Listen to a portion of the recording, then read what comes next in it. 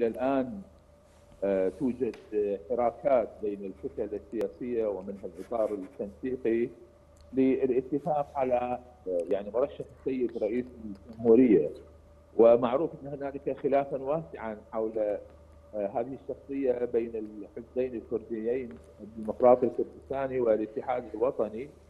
ودخل الإطار يعني للتفاوض أو للحوار بين الكتلتين من أجل التوافق على رئيس الجمهورية لأن نعم. موضوع تشتيت الكتل وموضوع يعني الانسداد السياسي يجب أن يتوقف ويجب أن لا يتم يعني استهداف أو يعني تشتت الكتل بهذه الطريقة ومن أجل بعدين تصعب عملية تشكيل الحكومة و يعني اختيار يعني السيد رئيس الجمهورية والسيد رئيس الوزراء نعم. لذلك من مصلحة الجميع أن يكون هنالك اتفاقا. وبما أن يعني هذا الموقف حسب العرف يعني السائد البلاد هو يعني الأحزاب الكرديه ذلك اليوم يسعى الإطار أن يتوحد المسلمين على مرشح واحد من أجل تسهيل العملية يعني عملية اختيار رئيس الجمهورية. ثم اختيار رئيس الوزراء يعني جاري هنالك أيضا تنسيق بين الإطار وبين الأخوة في التيار حول نعم. هذا الموضوع. أستاذ عقيل التحالف الثلاثي يخطط لتمرير رئاسة الجمهورية ورئاسة الوزراء في سلة واحدة في الجلسة البرلمانية المقبلة، هل تعتقد أنه سيفلح في ذلك؟ يعني صراحة المعلن من الأخوة يعني في التحالف الثلاثي أنهم يريدون الذهاب بحكومة أغلبية تتكون من يعني هذه الكتل الكبيرة الثلاثة.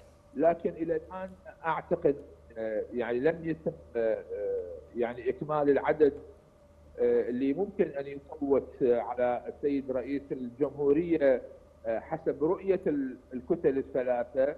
يعني ما حصل يعني عندما تم التصويت ب 203 على فتح إعادة الترشيح.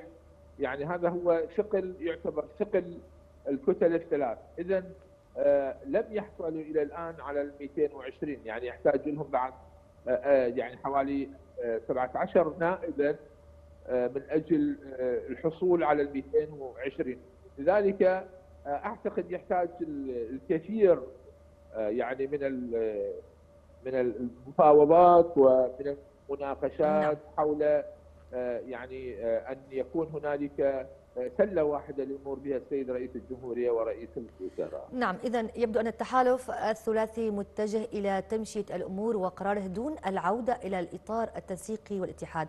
هل تعتقد أستاذ عقيل أن ذلك سوف ينجح وفي حال نجح التحالف الثلاثي هل هناك مخاوف من تداعيات سياسية؟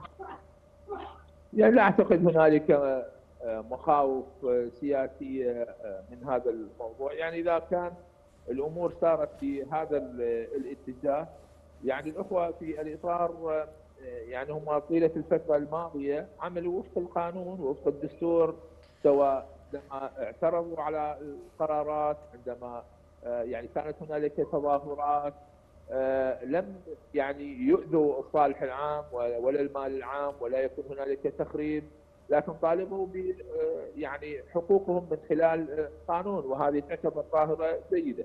وإذا افلح التحالف الثلاثي بالمرور بدون الأخوة في الإطار فأنا أعتقد الإطار سوف يذهبون إلى المعارضة تكون معارضة إيجابية يعني تنافس في البرلمان حول خدمة المواطنين وحول تشريع المواطنين العفو تشريع الانتخابات تشريع ال نعم. يعني القوانين الخاصة بمصلحة المواطن والمواطنين وهذه هي هو هذا عمل البرلمان بالحقيقة نعم. ولا تع... ولا أعتقد أن تكون هنالك مشاكل يعني توجد على الساحة السياسية. نعم وبانتظار الجلسة البرلمانية المقبلة كل الشكر لك عضو تحالف النصر الأستاذ عقيل الرديني كنت معنا عبر الهاتف وأهلا بك دائما.